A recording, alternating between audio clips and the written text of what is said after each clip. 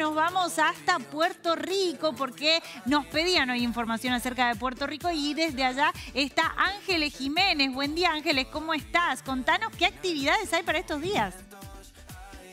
Muy buenos días chicos, muy emocionados porque nuevamente tengo un fin de semana plagado de planes para toda la provincia, para ustedes. Les comento que tenemos eh, disponible el cine. Tenemos otra fiesta más, la última para el mes de las infancias, que se va a realizar el sábado en la Plaza del Niño desde las 3 de la tarde, así que familia, vengan. Y ahora les voy a dar más detalles sobre lo que va a ser el gran evento de este fin de que es la decimocuarta feria del libro que se va a realizar en nuestra ciudad de Puerto Rico. Ya imagínense más de una década en la que se viene haciendo esta feria con mucho cariño y amor.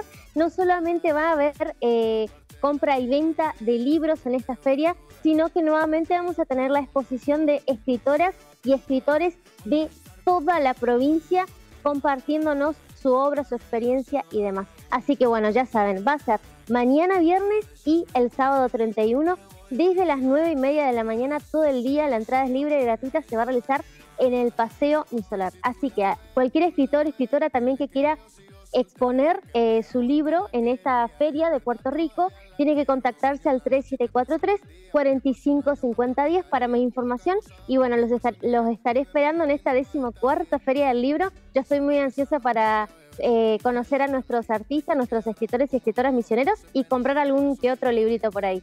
Sin dudas, Ángeles, que es una propuesta sumamente interesante y además eh, para revalorizar ¿no? todo lo que es este arte de la escritura, algo que también siempre nos acompaña. Y cuán importante es este tipo de, actividades, cuán importantes son estos eventos para que los niños también se acerquen a la lectura. ¿Tenés idea si en este cronograma va a haber algún escritor que sea específicamente con material para niños? Eh, estuve escuchando que se estuvo buscando, así que todavía Puerto Rico sigue en la búsqueda de escritores infantiles, porque sé que siempre hay sector, sector, un sector para niños en nuestras ferias del libro, en donde hay muchos libros infantiles, los nenes se ponen a dibujar, a pintar, le muestran los libros a los nenes, tienen relación eh, con, con juegos relacionados a las letras. Entonces estaría buenísimo que venga un escritor o una escritora eh, infantil a esta feria del libro, así que por favor seguimos en espera. Ya saben, tienen que comunicarse al número de WhatsApp o al Instagram de la Municipalidad de Puerto Rico para que los niños también conozcan en persona a un escritor o alguna escritora infantil misionera.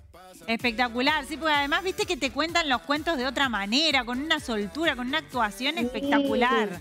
Sí, así que a los chicos los atrae muchísimo. Mencionabas también que hay actividades para los niños celebrando aún este mes de las infancias. ¿A partir de qué hora pueden acercarse los chicos? ¿Qué actividades van a ver?